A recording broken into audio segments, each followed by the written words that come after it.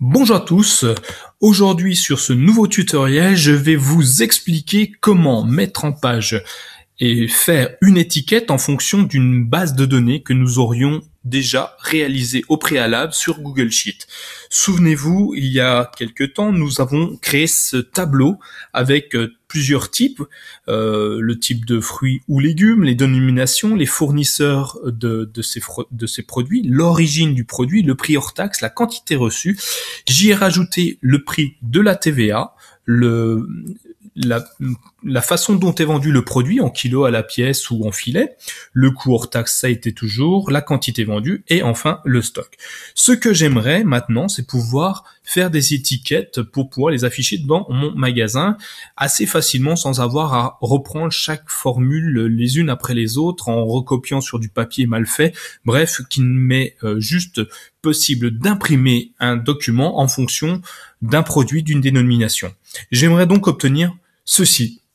Donc ceci va me permettre directement en changeant la valeur dans euh, cette cellule, euh, en tapant par exemple une laitue, la laitue romaine, que ça me change automatiquement l'origine, le fournisseur, le prix hors taxe, si c'est vendu en kilo, en pièces ou en filet, la, la TVA et le prix TTC public, euh, plus une, une, petite variable supplémentaire qu'on pourrait rajouter, ainsi que la quantité euh, qu'il me reste en stock. Voilà. Pour ce faire, nous allons d'abord créer une nouvelle feuille. Donc cliquez sur plus. Elle va s'appeler feuille 5. Vous pouvez, en faisant un clic droit, renommer. Donc euh, feuille de prix, appelez-la, moi je l'ai appelée étiquette, alors je vais refaire pareil, étiquette 1, je vais l'appeler puisque j'ai déjà une étiquette. Nous voici, donc d'ici je veux euh, créer plusieurs choses.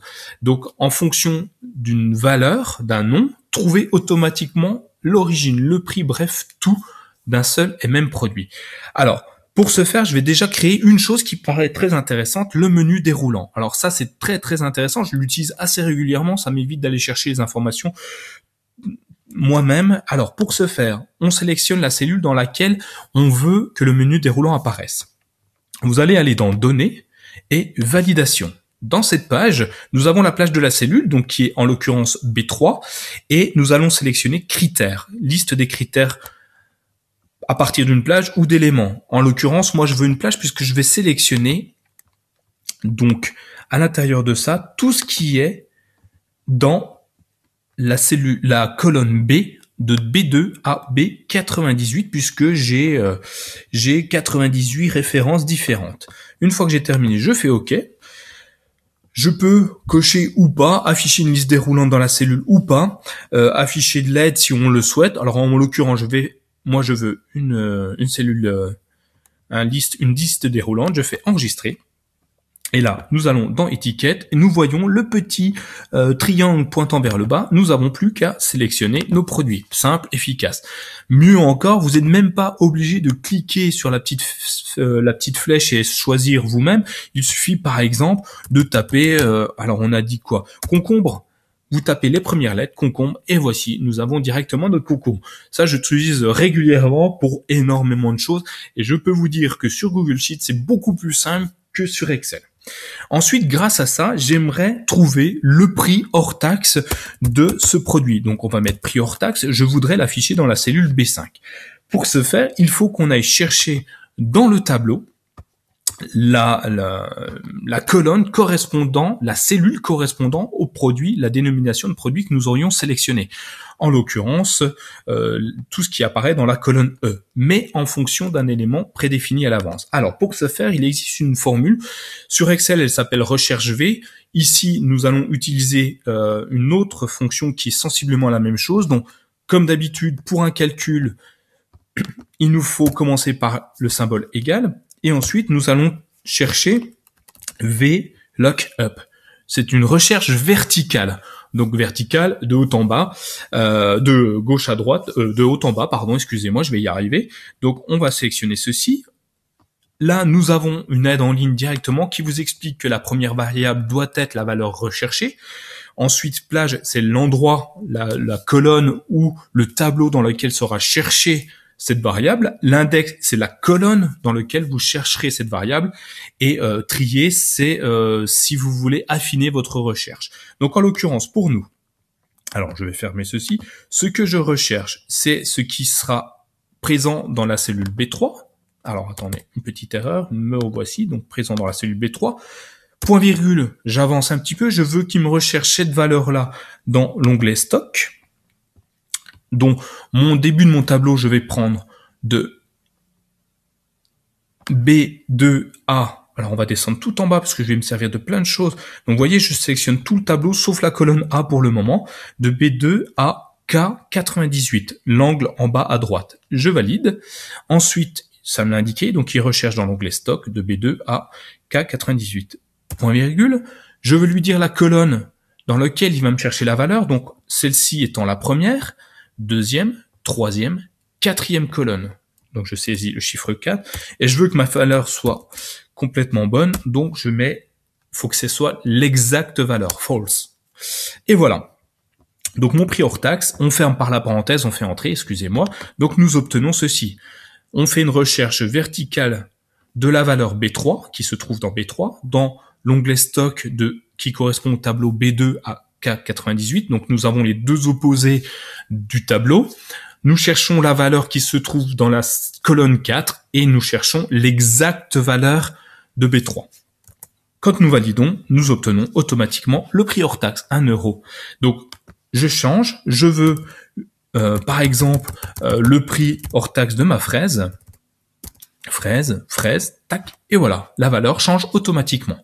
Simple, efficace. Alors, on va procéder comme ça sur beaucoup, beaucoup de fonctionnalités. Par exemple, j'aimerais euh, le fournisseur.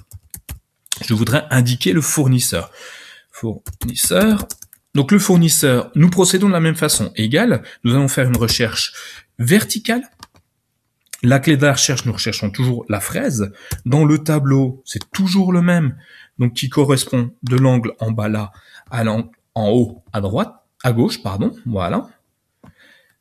Point virgule, nous recherchons le fournisseur qui se trouve donc dans la colonne 1, 2. Donc nous recherchons la colonne 2. Voici. Et je cherche l'exact nom de B3. Je ferme par la parenthèse et je fais valider. Et là, je vois que ma fraise a été achetée chez le fournisseur Fruitas. Je peux mettre l'origine?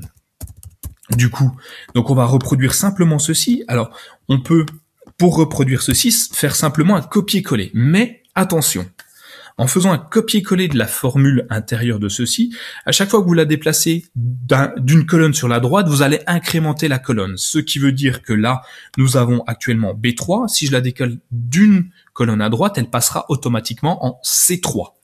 Si on la fait descendre vers le bas, donc qu'on descend d'une ligne, on sera toujours dans la colonne B, par contre en B4. Exemple, je vais descendre ceci, et là, je vais avoir une erreur, effectivement, puisque nous sommes passés dans la colonne à la cellule B4 alors que nous recherchons la valeur B3.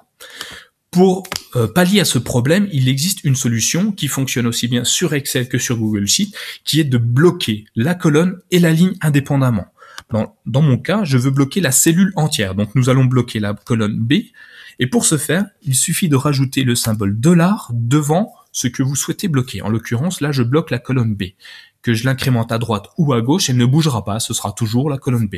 Mais je vais aussi bloquer la cellule 3, donc je vais la ligne 3, donc je vais mettre un dollar devant 3. Je bloque donc la colonne et la ligne, ce qui veut dire que je bloque la cellule entière. Donc B3 sera toujours B3, peu importe le, le glisser à droite ou à gauche ou en bas ou en droite. On va faire la même chose sur le stock puisque l'angle en haut à gauche et l'angle en bas à droite de mon tableau ne changent jamais. Je bloque la colonne, je bloque la ligne de début, je bloque la colonne et la ligne de fin.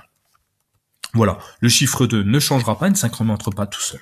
Je valide. Ça ne change rien ici. Alors, je vais pouvoir CTRL A, CTRL C, le coller ici. Vous voyez, il me trouve le fournisseur, évidemment, puisque je cherche toujours le contenu de la deuxième colonne. Cependant, cette fois, nous cherchons l'origine. Donc, retournons dans stock. L'origine il est en une, deux, troisième colonne. Retournons dessus. Donc changeons simplement la valeur 2 par 3. Et voilà, nous avons une fraise qui coûte hors taxe 39 centimes qui vient du fournisseur Fruitas d'origine France. Simple. J'aimerais aussi récupérer la TVA. Alors la TVA, euh, pour les fruits et légumes, c'est assez simple, c'est la même pour tous, mais vous pourriez avoir des produits euh, manufacturés comme euh, de l'électronique, comme de l'informatique, des choses comme ça, donc la valeur pourrait évoluer. Donc nous allons faire cette recherche également. Donc copions à nouveau notre formule. Sauf que la TVA n'est pas dans la colonne 2, mais une, 2, 3, 4, 5, sixième colonne, la colonne G. Donc retournons sur notre onglet. Donc nous cherchons la valeur B3 dans le tableau commençant dans l'angle en haut à gauche, B2 finissant dans l'angle en bas à droite, K98, et nous cherchons ce qui appartient à la colonne 6. Et là, la TVA est là. Alors on peut rajouter des lignes, des cellules, donc je vais me mettre tout sur la ligne 7 parce que je veux pas voir ça forcément apparaître ici, je descends. On peut insérer au-dessus, en dessous, faire ce qu'on souhaite au niveau de l'interfaçage au niveau de vos besoins. Maintenant, j'aimerais savoir euh, si ce produit était vendu au kilo, à la, à la, à la tonne, au filet ou à la pièce. Recommençons. Euh, collons à nouveau notre cellule. Donc, à nouveau, je suis en 2. Alors, ça ne m'intéresse pas. Nous savons que c'est vendu dans la colonne H, qui est la colonne 1, 2, 3, 4, 5, 6, 7. Dans la septième colonne, retournons dessus.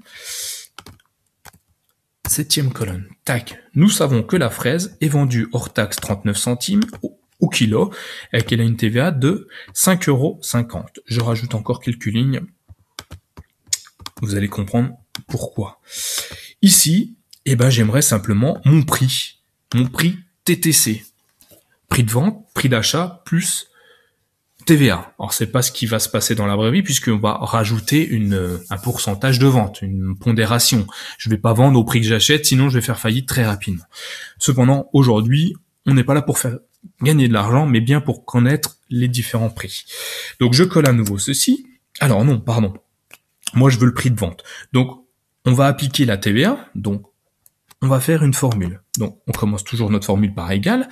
Je sais que ceci fois le pourcentage va me donner pour la TVA de 39 de 0,39 centimes, soit 0,02. Mais je veux additionner ce pourcentage au prix d'achat, qui est celui-ci. Voilà. Je l'ai fait en deux temps, comme en maths classique. Entre parenthèses sera calculé en priorité. En l'occurrence, une multiplication est toujours prioritaire. Et ensuite, on additionne le prix hors taxe. Donc j'ai cherché le pourcentage des 5,5% des 39 centimes que j'ai additionné aux 39 centimes, ce qui me donne un coût moyen, un coût, pardon, du produit à 41 centimes. Je vais faire ça plus gros parce que c'est pas très lisible. Je sélectionne plusieurs lignes et je vais fusionner mes lignes. Tac, voilà. Je vais centrer mon produit, voilà, en plein milieu. Mieux encore, je vais agrandir le prix, tac, et je vais mettre ça, évidemment, en gras. Voilà, j'ai mon prix TTC. Donc j'ai pratiquement tout. J'ai mon produit, j'ai mon prix hors taxe, ma TVA vendu au kilo, le prix total euh, d'un kilo, le fournisseur, l'origine. Il manque juste la quantité totale, ce qui peut être intéressant si euh, on sait euh, combien il nous reste de produits, on pourra peut-être commander avant même d'interagir. Donc ma quantité, on va la mettre là. Je vais aller la chercher tout simplement. Alors, elle se trouve où ma quantité? Donc, elle se trouve on va prendre le total stock après les vendus. Donc 1, 2, 3, 4, 5, 6, 7, 8, 9, 10. Donc nous allons chercher dans la colonne, dans la dixième colonne et pas la deuxième. Dixième colonne. Voilà. Nous savons que les fraises, il m'en reste 88. Après, à vous de faire une mise en forme. Donc on peut par exemple fusionner plusieurs. Voilà, on fusionne, on peut agrandir le produit, on peut le centrer, tac, on peut même le mettre en gras, on peut faire un petit tableau, tac, comme ceci, par exemple. Alors pour un tableau, on va faire un truc tout simple, et on peut encore en faire un ici, Bref, vous faites ce que vous voulez. Ce qui est intéressant là-dedans, cette fois, c'est que mon tableau est complètement euh, est complètement autonome. Il me suffit uniquement de changer la référence, la dénomination du produit, pour avoir automatiquement une fiche produit mise à jour. Exemple, je veux des carottes. Euh, oui, carottes, les voici. Mon prix hors taxe a changé, ma TVA est toujours la même. Ça m'a changé le prix global et la quantité. Je sais que ça vient de tel fournisseur et que ça vient de France. Vous voulez une mangue? Allez, soyons fous, on va faire les mangues. Et voilà, ainsi de suite. Très très simple, hyper rapide, mais en tout cas euh, très intéressant lorsque vous voulez faire des milliers de prix et vous n'avez juste qu'à changer le, le produit euh, à travers une liste prédéfinie auparavant. Voilà, c'est tout, simple, efficace, très rapide. N'hésitez pas à me poser des questions si vous n'avez pas tout compris ou si vous avez d'autres demandes.